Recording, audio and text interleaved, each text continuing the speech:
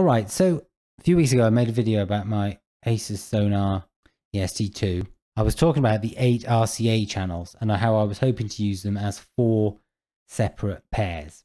Uh, and it turned out that I couldn't actually do that. I suspected I would be able to do it with Studio One. Possibly, I might be able to run it through Voicemeeter and get it to uh, get it to work. So I have actually found a way.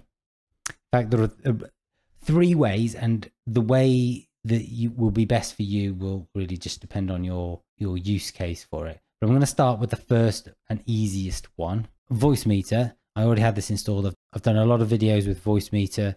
This is probably the most straightforward. It's just another hidden function. I mean, it's not particularly hidden, but if you don't know it's there, you won't even you won't even think about using it. Okay, so how do we do it? Well, right here, all of these are in normal mode. What we can do is it has this composite mode.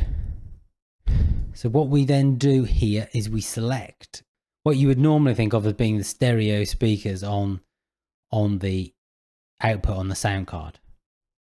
On this on this one, lots of I mean lots of sound cards have 7.1 out. They're just delivered through the 3.5 mil channels rather than these RCA pairs. Um, so whatever the output is, you can just you can just click on that. So now that's all eight channels are connected here, but most of the signals that we get in a stereo. So what we can do is we can disregard, like we can disregard all of these, where are we sending all these things to? So we're using A1, so let's just undo A1 so it doesn't, it doesn't get, doesn't get us confused. It doesn't matter about any of the other places it's going because we're not, we're not using, we're not using that at the moment. So we have, our system has been routed to come in here. So that's all the computer sounds except for uh, the music and the Discord. I mean, it doesn't have to be Discord. It can be Skype, whatever. Um, but really, what I'm looking to do is I want to separate my microphone, which is over here. You can, you can see it there. I'm not actually recording through Voicemeeter, but it's still it's still showing there, as you can see. And the system sounds. Separately, I want to record anybody I'm talking to.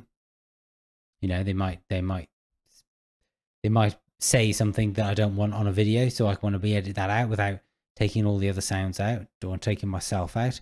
Or maybe they're just speaking over me and I think they're being rude and I want to just cut that bit out. And then the music. Maybe you accidentally play some something that you don't want to be on your recording. Like for years, people have been doing this on Twitch. They've been playing, been playing music, and it's they've now got all this DMCA stuff. But maybe you want to play music to yourself while you're playing the game and you don't want it to be recorded. So you want to keep that channel separately, whatever your reasons. It doesn't matter. And you can use whatever. You can send three different applications here. So what am I going to do? Well, to start with, I'm going to, I'm going to get this. All right. So we've got VLC. Now, one of the good things about VLC is besides being it's open source, free, you know, free software, and you know you don't have to pay for it free. You can select your audio device here. You don't have to mess around in Windows. You can just do this, and you can just change it while you're playing. So let's start with doing it on Voicemeeter input. That's the first input on Voicemeeter, which is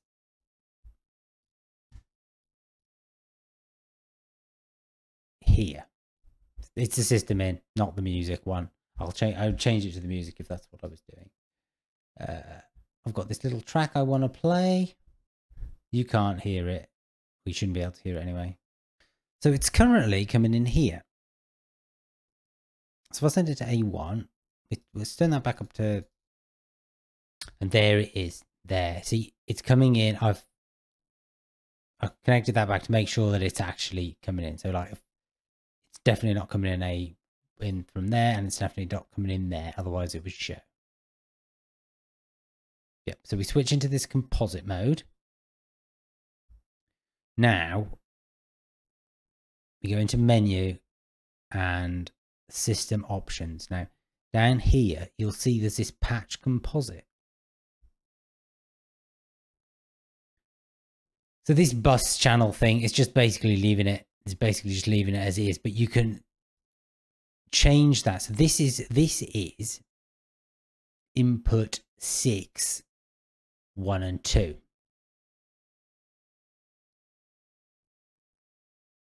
Input six, one is there.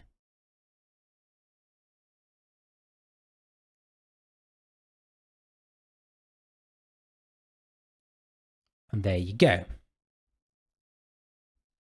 So one and two from here is over there. Okay, so we haven't changed anything. That's no different to what it was before. But what we actually also want to do is we want to do the other, we want to do the other eight channels.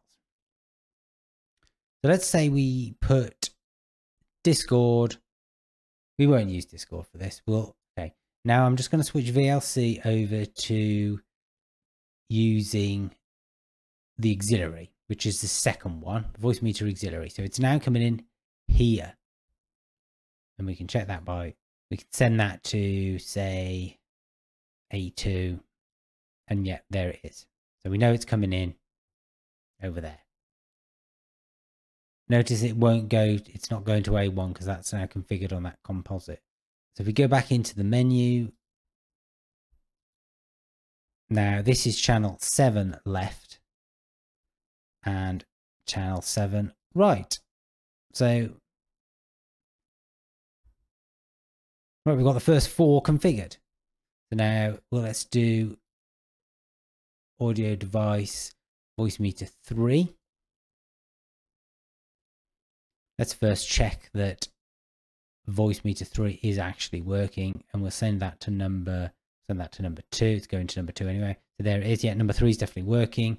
We've got the we've got the little track coming in there. So now we want to change five and six to channel eight left and eight right.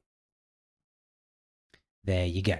And what about the last one? Well, we can use them. I mean, maybe that's all you need. Maybe you just need those three.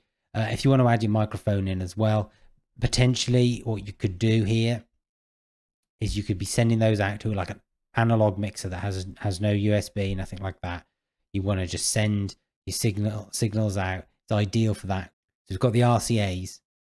It's got the RCA cables, the old analog style cables that can go out into an analog mixer, and then using the line in on the back of the sound card, you could then come back from the mixer with your mix track, which then you then pick up in OBS, and that's your stream done. But if you did that, you'd also want to have your microphone mixed in. If I down mix that into mono, and this is two left and two right. There we are. Now you can see we've got four tracks coming in there now. Notice here it says pre-fader. Now what that does is it takes the signal before these sliders. So I can hear myself talk because this 7 and 8 here are connected to my audio interface and that's coming back to me even though it's muted. If I just click here you can't see that it's a button but you can click there post fader. Now I can't hear myself anymore because it's now doing it after the mute.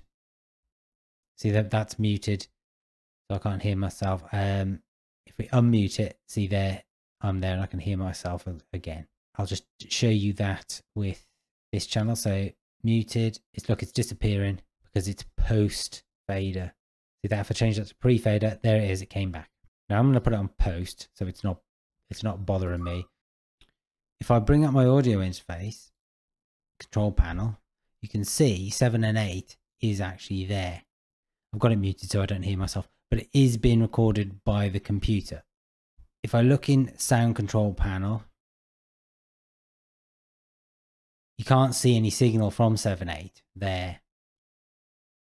However, I've added 7 and 8 to my OBS and it is actually receiving a signal there. And you can see it's kind of the same. Pretty much as I'm talking, you can see that it's recording 7, 8 as well, or it's picking up 7 and 8. It's not actually recording it. Okay, and that's that. So I could send three different cables out of there and into the audio interface. I've I've got two on the back, two pairs on the back, and I can use the XLR combo ports on the front for the other, other for one of the other pairs. I'm using the mic on one. If you wanted to, if you had, like I say, you had a, a USB mic instead, you could just connect it up there the same and send it through in the same way, but then send it out to the audio interface. You could mix it in here and then run a cable back from the audio interface's output into the sound card's input, which you could then pick up in OBS and record your mix thing. Like I described with the, the analog mixer, you could do that on this audio interface because it's got a mixer built into it. The, the more basic ones don't have this. And also you could pull it into Studio One. So I've I've got this ready. I've got Studio One. I've got seven and eight. Uh, just look at my audio inputs. I've just created one input channel, which is on seven and eight for my audio interface. I have other videos about how you connect Studio One to audio interfaces and also how you can connect it to Voicemeeter. But look for that in another video. Uh, that's it for this one then. Uh, and I'll see you next time.